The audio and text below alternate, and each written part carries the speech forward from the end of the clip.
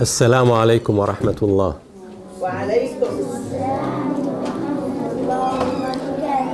الحمد لله والصلاة والسلام على رسول الله Today I am going to talk about Mrs. Jumbo. She was a circus elephant.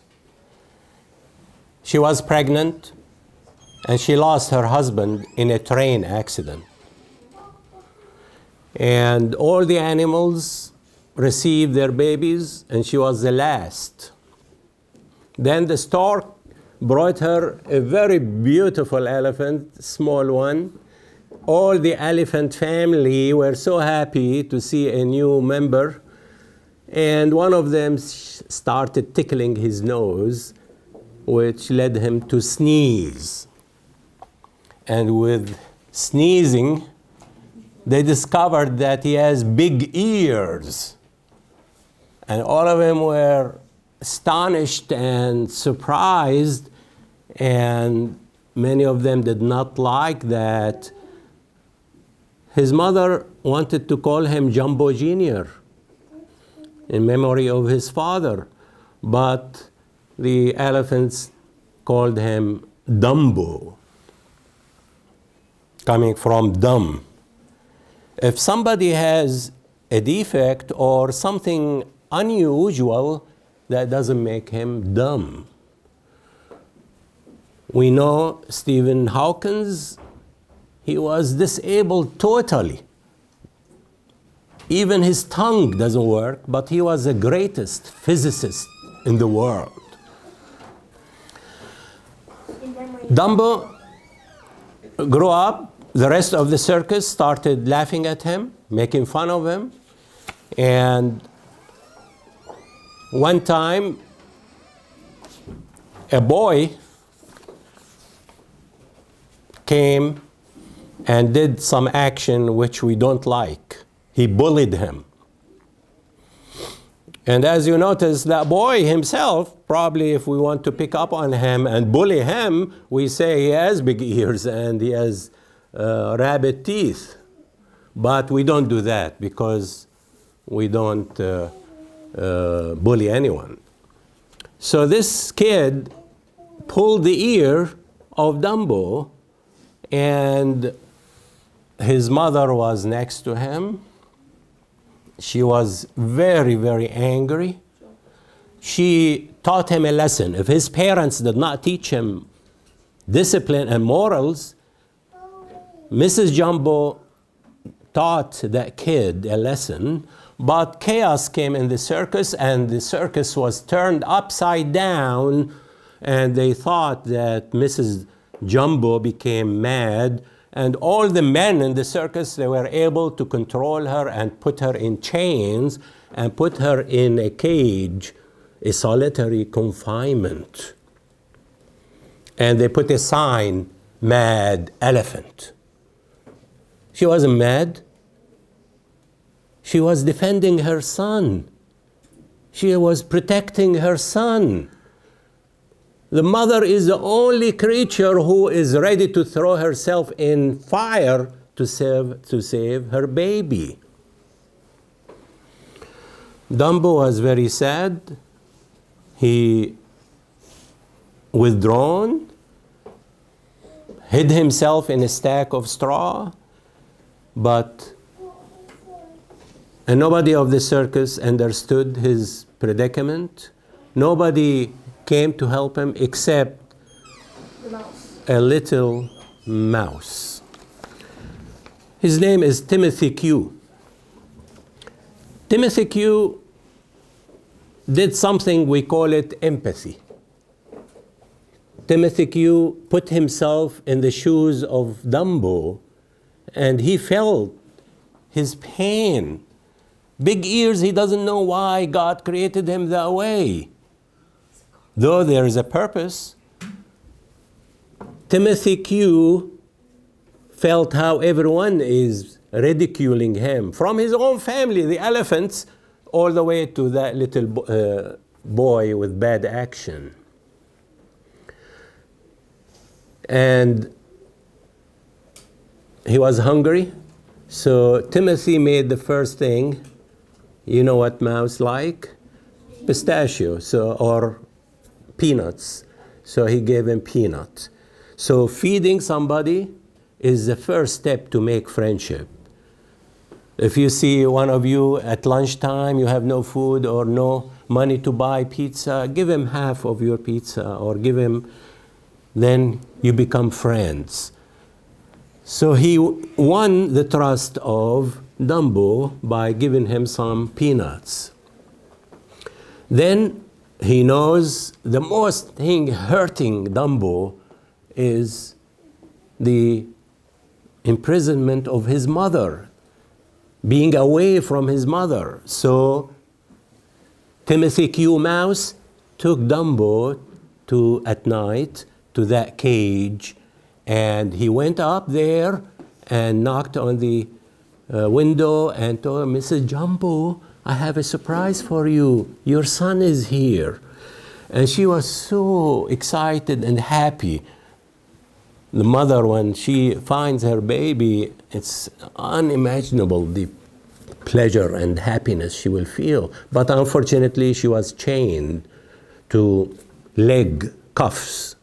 But she was able to stretch herself and bring her trunk, the long trunk, outside the cage, and she touched Dumbo.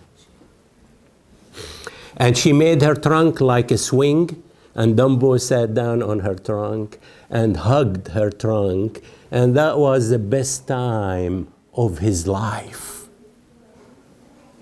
There's no pleasure like when the child is in the lap of his mother. And his mother sang to him, giving him strength and assurance that you're okay and you will be okay. And she sang the song, Baby Mine, Baby Mine, don't you cry. Baby mine, dry your eyes. Rest your head close to my heart, never to part, baby of mine. Little one, when you play, don't you mind what they say. Let those eyes sparkle and shine, never a tear, baby of mine. From your head to your toes, baby mine, you are so sweet, goodness knows, baby mine, you are so precious to me, cute as can be, baby of mine. Dumbo has to leave, but he was in completely different spirit with his new friend Timothy Q. Mouse. So that mouse did three steps. He fed him, he took him to his mother. The third step is to give a lesson, to give a lesson to those who are picking on him, like the birds. And here he was angry with them. They gathered around him and he gave them a lecture. He gave them a speech which me personally I found one of the best oration in the history. What did he say? He stood up on a stump of a tree. He was angry. Dumbo was sitting on the side, very sad, the tears in his eyes. And he said, Timothy Q. Mouse said to the birds, You all ought to be ashamed of yourselves. A bunch of big guys like you picking on a poor little orphan like him. Suppose you was torn away from your mother when you were just a baby. And he was using the word was. Nobody to tuck you in at nights no warm, soft, kerosene trunk to snuggle into. How would you like being left out alone in a cold, cruel, heartless world? And why? I ask you why? Just because he's got those big ears? They call him a freak. The laughing stock of the circus. And when his mother tried to protect him, they threw her into the clink.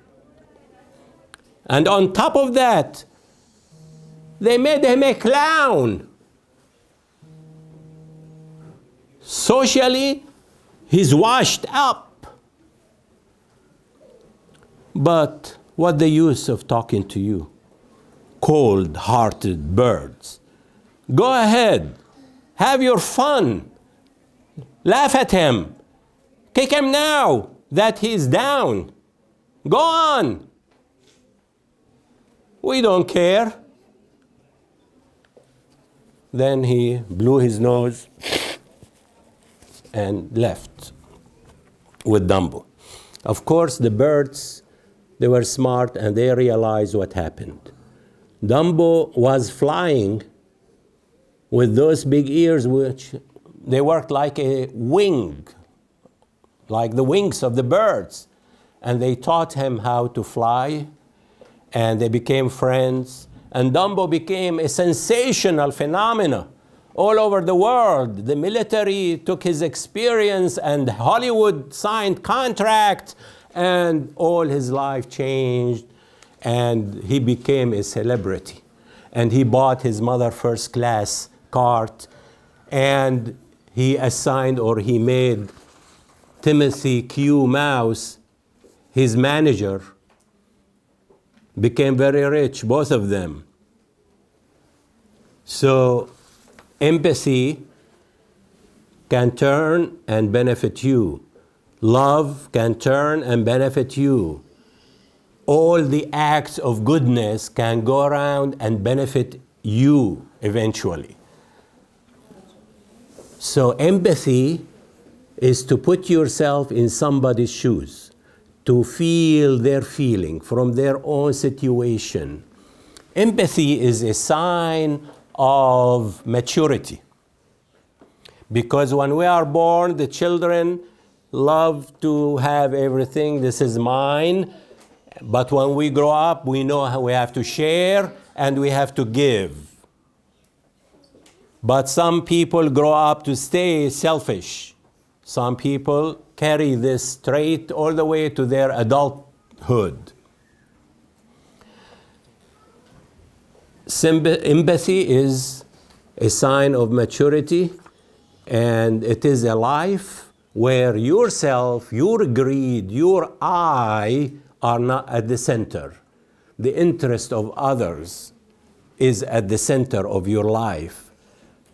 To at lunch look who doesn't have money to buy pizza? And he's sitting on the table hungry to feel his feeling and go and share with them your lunch empathy is something very very important in our life i was reading a few days ago about a mouse another mouse not timothy q he apparently stuck in one of those manholes and he couldn't go up or go down. And this happened in Germany. Why would this be on the news? Because they called the government, the government sent a fire, fire, fire truck with eight firefighters. They went there and with the right protection, because we know rats can carry disease. So with the right protection, they released that little thing from his predicament. He was, you know, in pain.